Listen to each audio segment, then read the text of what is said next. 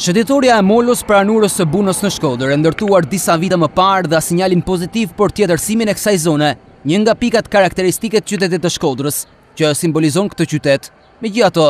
ajo çfarë shfaqet sot në këtë pjesë të qytetit, lë shumë për të dëshiruar. Sapo kalon Urën e Bunës, të shfaqet përpara syve Grumbuj me dhera dhe inerte, mbeturina dhe një imazh aspak pozitiv, çka të ngjan me një vend të sapodalë nga lufta. Përveç pastrimit të kësaj zone, iniciativa kryesisht private dhe të OJF-ve të ndryshme, askush nuk është kujtuar edhe për këtë pjesë të qytetit, duke na shfaqur përpara syve një pamje bardhë e zi. Nëse në pjesën përpara urës së Bunës shihet një ambient i rikonstruktuar, në anën tjetër, gjithçka është gri, duke paraqitur një imazh negativ edhe për turistët, të cilët nuk janë të paktë në Shkodër. Përpara disa vitesh, Nga ana e bashkisë u hartua një projekt për rikonstruksionin e plotë të kësaj zone dhe kthimin në identitet edhe të Molos së Urës së Bunës dhe krijimin e pikës kufitare të linjës së trageteve Shkodër-Virpazar, por gjithçka u la në harresë, duke lënë në mëshirë të fatit pikërisht një nga zonat më të vjetra të këtij qyteti, që sa i takon resurseve, ka shumë të tilla, por njerëzit që kujdesen për të janë me pikatore.